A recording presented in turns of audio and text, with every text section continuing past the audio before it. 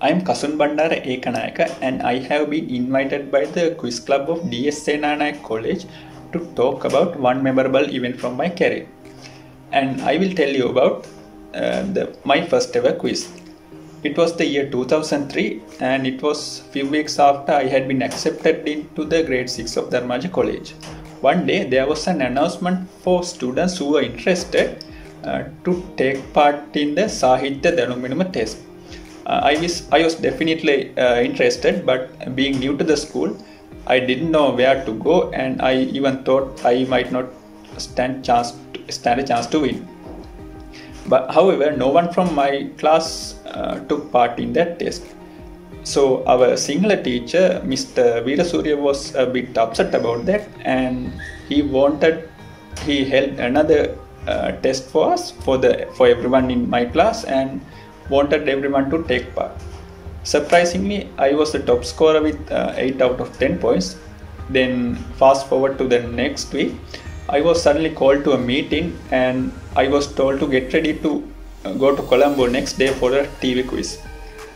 That's how I was selected to my first ever quiz, uh, Happy Cow Champions, Happy Cow Champions, uh, telecasted in uh, Sri Lanka Rupavahini Corporation in 2003 I was just uh, 11 years old and I was the youngest of the team of four members.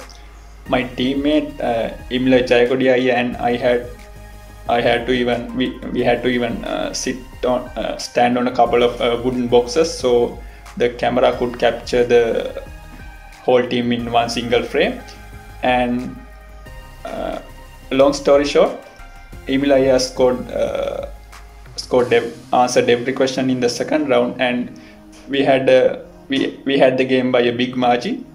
I only sco- uh, answered only one question and that was uh, what was the uh, measurement scale used in the measurement of uh, magnitude of an earthquake. It was uh, it was the only question that that i answered that day but it was the beginning of everything for me when I look back at the last 17 years, uh, I have been part of uh, wonderful teams and I had uh, very brilliant team members. We had uh, some big wins and some heartbreaking defeats. We had made some made many friends and even enemies. And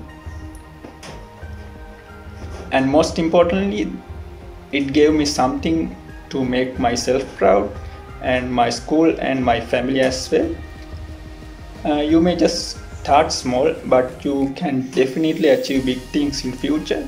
You just need to uh, grab the opportunities when they come up, how small they are, I, and I am certain that you, our youngsters, will uh, definitely fare better than us. And may the force be with you all. And thanks, DS Quiz.